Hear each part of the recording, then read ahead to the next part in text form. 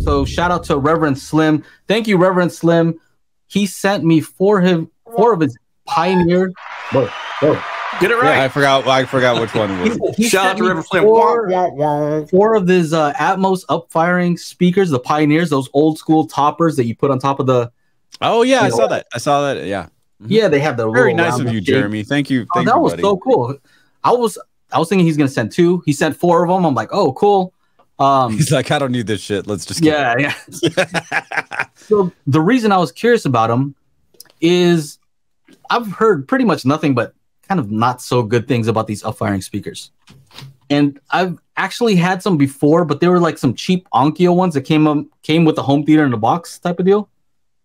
And it was like very poorly made, right? Who who want an Onkyo speaker? Really? Like where's that? It's probably Yeah, not good. So anyway, that didn't work very well.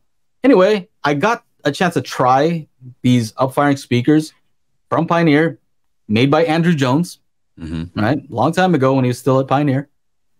And in my living room, I have a nine foot ceiling, Yep. flat. It, it is very convincing. So, I, you know, I was just kind of surprised. That's what I wanted to know. Could this actually work? And it, in my case, they are pretty convincing. Like, I'm amazed, right? And I kind of feel bad that they didn't really catch on. I feel like people hate on them a lot. And I don't know if it's just these particular speakers or if all of them work well, or I don't know. I haven't Mhm. tested other ones except for the Onkyo that was straight garbage and this one that actually works. Um, I measured them and they do something very interesting. Erin, tell me if this makes sense or if I'm making stuff up. Oh. Uh-oh. Yeah, okay. All right, so here it is.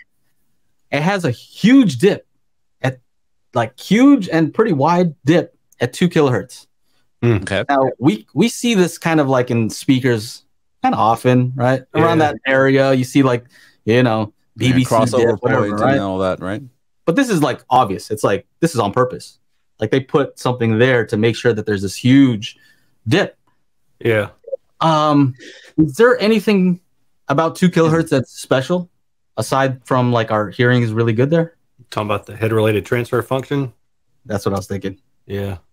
Maybe Maybe I I they- know they- though. I, I These are the bouncers, right? They say they say that they they don't show the frequency response because they do something to make the bounce happen properly. Do you think that's part of the or no? Okay, so to that, if you if you tell your your Denon or Marantz that you're using an uh, whatever Atmos enabled speaker, Yep. it will automatically try to put in this like little curve. Really?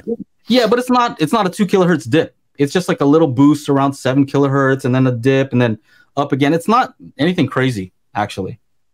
But but two kilohertz, this is I to me, it looks like something that Andrew Jones kind of just made up. Like he's like, I'm gonna do this thing, you know? yeah. So with these upfiring speakers, the main issue is localization because they're actually directly in front of you and you don't want it to sound like it's coming from that speaker. You want it to sound like the first point, the source is the reflection. So you have to trick your brain into somehow thinking that it's not coming from that speaker, right? And so what they do is they make the speaker very uh well, I guess the dispersion is very very narrow, right? And so it's going to hit this one spot, but not get to you in front of you. But the two kilohertz thing I thought was very interesting because if it is, if it does have to do with head related transfer function, and is I kind of did a little calculation and correct me if I'm wrong, but that two kilohertz corresponds to the average distance between the ears. Is that about right?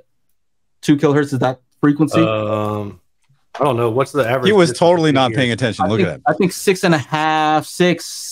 six and a half. Gotcha, Erin. Yeah. Divide by seven. What? So, so two kilohertz corresponds to that. Yeah. Seven Okay. inches is uh, 1928. 6.5 is going to be a little bit higher. All right. So this is all 6.5 This is is all- okay. So this is just all off the top of my head, just kind of seeing. Now, when we talk about, uh, you know, phantom center, right?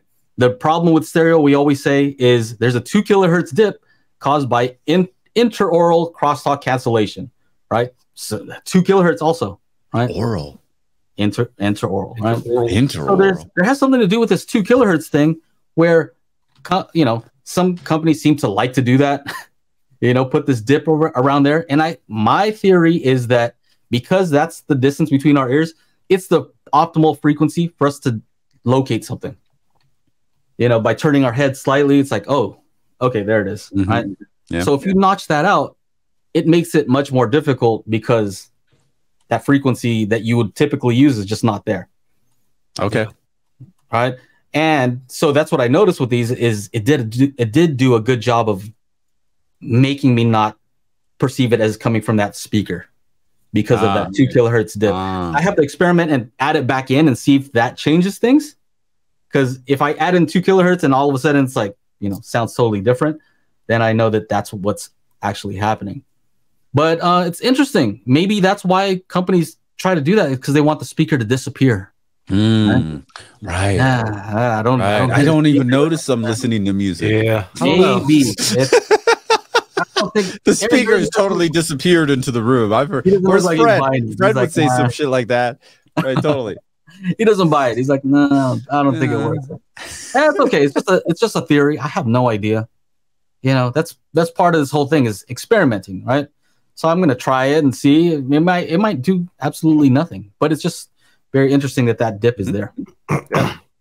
Yeah, I don't know why it would be there.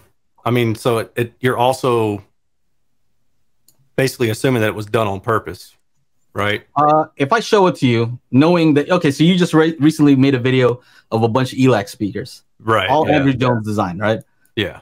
So that guy, I mean, he doesn't all of a sudden like, oh, I forgot how to make crossovers. Yeah, no, I, I agree. I guess not necessarily on purpose, but you know, that could have been just a compromise, right? Like between where he needed to cross the tweeter over and as high as the woofer would play or something like that. Or it could be a Hmm. compromise of the orientation of the speaker or the the baffle width or something like that. There could be some effect. So it could be a causality rather than um, hmm like something intentional. This Oh, whole man, time it's I was trying to look for that one photo, and so I guess I just took a photo. I didn't I didn't save it. But here's here's that upfiring speaker. Oh. Tell me if this is an accident. yeah. That's I definitely mean- not an accident. That's wild. Yeah. That looks like it's like That's directly passive like I'm not- speaker, I'm right? not- what's that? Passive. it's a passive speaker, right? yeah, Yeah, I'm not doing anything crazy like That's a it's notch measuring right in front of it.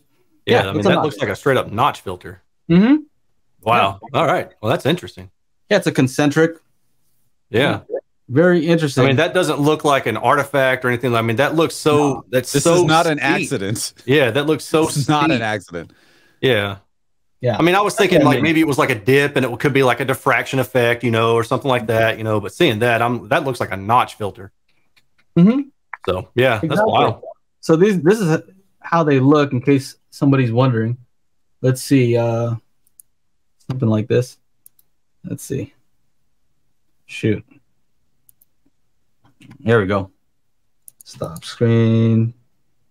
Present. There it is. Those things. Yeah. Yeah. So it's uh, I think a four or four and a half inch, and then something like a like a half inch tweeter, like a small little tiny tweeter, concentric. Yeah. So I don't see anything there that would physically cause it just just by just looking at it. I don't know, Yeah, I'm with but you. that's a that's obvious, right? So anyway, I think that it was done on purpose. Uh, Hmm. I I asked Andrew Jones, but uh, you know, he's busy. yeah, he's busy. Um. Anyway, interesting stuff. Now, if you can't catch the show, we do have an audio version at anchor.fm slash daily hi-fi. So make sure to go on over there if you like to listen to the show.